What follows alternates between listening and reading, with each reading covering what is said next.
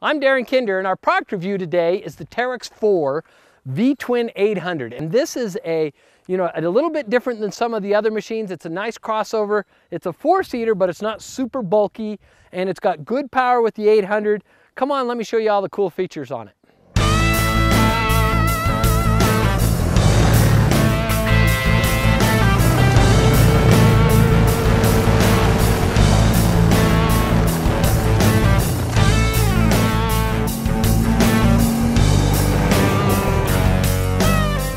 Teryx 4 wasn't probably the most powerful machine that I've been in, but it definitely gets the job done. It's got plenty of power. When I first got in the machine, I kind of thought it might be a little tippy, but after we got it out on the trail and started racing it up and down the road and stuff, it never felt like the tires were going to come off the ground. Very stable and a lot of fun to drive. One of the first things we noticed on the machine is that it has a very large radiator right here in the front. So it's picking up nice clean air and keeping the machine cool. It also, this is where it picks up the air for the uh, engine. Now under the hood, there you can easily see where you have your air filter, your fan and your radiator, all of this stuff very easy to get to. And you'll see that you have the Fox Podium shocks right here. Very easy to adjust them just the way you like them. Preset, your load, all that kind of stuff. You dial the machine right in. As you come back here, you can see the Teryx comes standard with four doors on it.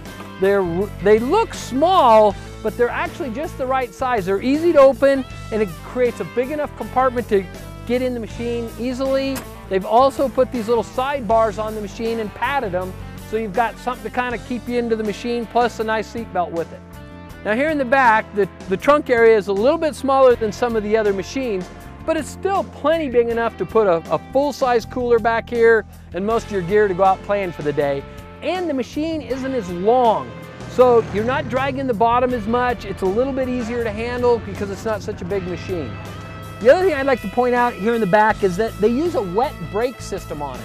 So instead of using disc brakes out on the wheels, that when they get wet and muddy, they don't work as well, they actually have a, a wet disc that's inside a housing and that thing's always grabbing, it's sealed, you don't have to worry about it, it's right on the drive line.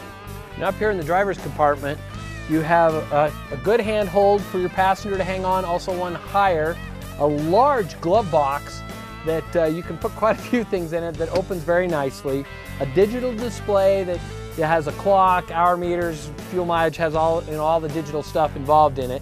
Then you have some pretty simple uh, switches up here on the dash. You got two-wheel drive to four-wheel drive, and then you can lock in your differential. It does have a gate shifter here with uh, low, high, and, and reverse on it. I do wish it had a park, but you know, they, they put a very heavy-duty park brake on it, which is hooked up to that wet braking system, so it'll lock it in place wherever you go. Now this is one place you should always look when you go out to buy a new machine, and that is underneath it, because on this one you can see they put full armor plating all the way front to back, including under the rear differential.